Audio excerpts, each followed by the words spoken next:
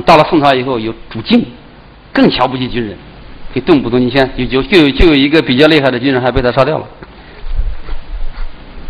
这导致整个民族的尚武精神的堕落。就我认为我们应该恢复我们自己民族的精神。孔子连他自己的祖国都没有保住，怎么可能拯救世界呢？所以说，西方人说，我要不说那个网友就说嘛，你根本西这忽悠不了西方。西方他他他他们相信克劳塞维茨说的话。你想和平吗？你想和平，你就要准备战争。剩下是我个人的一些思考。就我们要有这个整体的，我觉得我们目前这个处于这种情况，从总体来讲就是又乱又没有乱，处在一个这种苗头上。是一个非常危险的一个形势，在这个时候，作为整体国民，应该意识到这个问题，应该有全球的全球战略的宏观布局。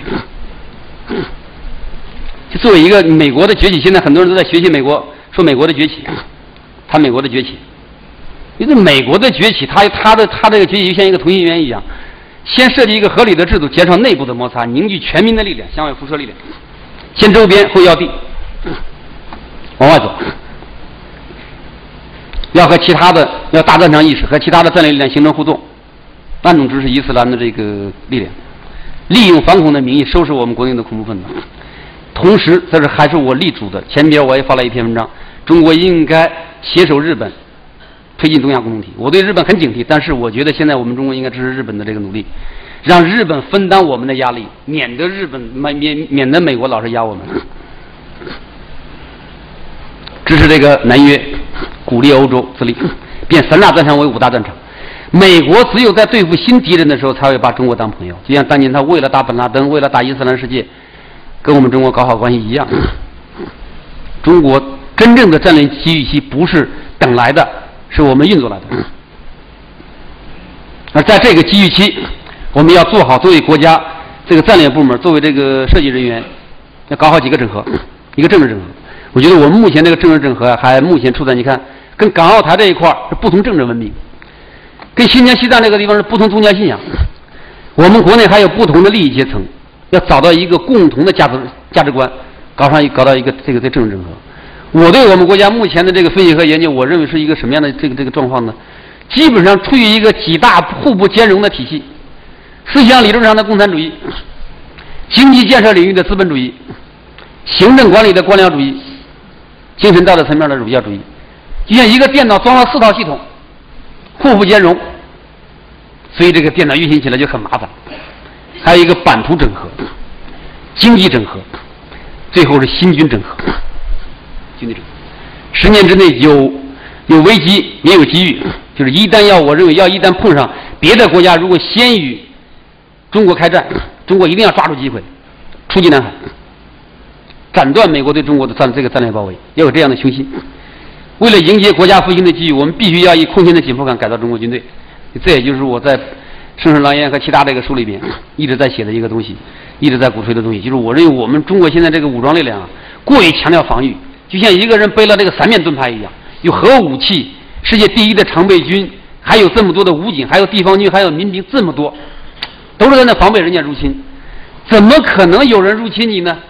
仅仅拥有原子弹就不会有人入侵你，对不对？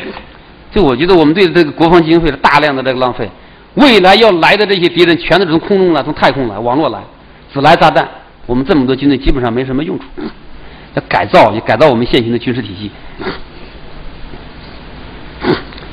就我认为我们现在目前的这个变革有点慢。上次这个就在这个《环球时报》这个论坛上，我说了一句话，我说当时很多人就说我们三十年。取得了很大的军事变革成就。我说我当兵正好三十年。我说我感觉我的感觉到我们变革的最大的成就就是换了三次军装。我说为什么这么说？我说我们比较一下，三十年能干什么？我说我们比德国吧。德国一九一八年战败了，第一次世界大战战败，被解散，国家被打成一片废墟，军队从零开始。但到了一九三九年，一支崭新的德军。几乎横扫了全世界，仅仅二十一年时间，我们的起点总比德国军队强多了吧？为什么我们三十年变革还不能说超过像德军当时的程度呢？我一提出这个问题，上海那个黄仁伟这个我可以点名，因为是他是这个上海人，是是属于这个以在某些层面上是经常给我们国家领导人提供决策的，有很多人称他为国师。上海社会科学院的副院长坐在主席台上，我说为什么？他说因为德国是法西斯。我说你说的不对，本来我我想说你说的胡说八道，后来我一想这样不礼貌。我说这跟法西斯有什么关系？邓小平同志不是有黑猫白猫吗？我说你要能把中国军队建设的像德国军队一样，你法东斯都可以，对不对？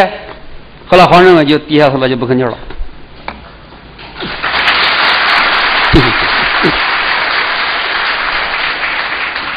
国家要走出去，是我们军队应该确立长确立这个进攻意识。